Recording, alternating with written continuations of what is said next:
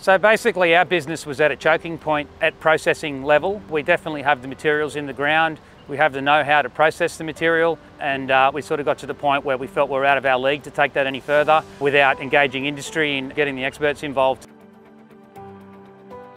So I first saw the CDE at the stand at ConExpo in 2020. When I saw the stand at, in real life and in the flesh, it became quite obvious that it was first quality manufacturing built to a mining standard. Luke definitely was surprised at the quality of the equipment. We really wanted to understand exactly what they do here, what their challenges are, and how we could help them with that. So we've, we've developed a, quite a bespoke solution for them based on their specific requirements. So we have a natural fine sand derived from sandstone. So our processes start from ripping friable sandstone out of the ground with a D11 bulldozer. We do some mobile screening and crushing to pre-process the material and then it goes into our wet processing system which is where CDE takes over.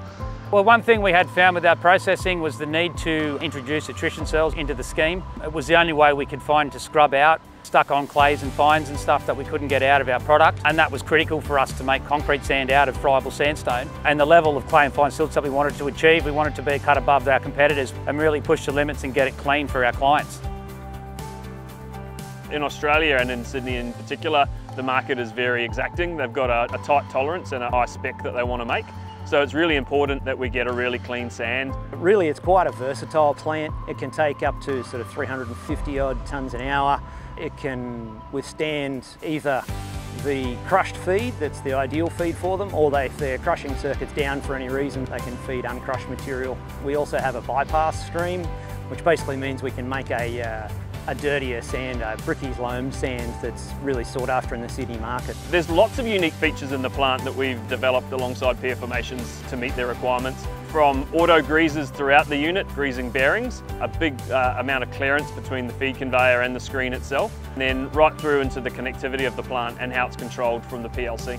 So we analyse the production data daily. I'm able to view the uh, Smart Tech function on an app on my phone and just simple basic information like when the plant was started, how many tonnes were fed into it versus how many tonnes came out.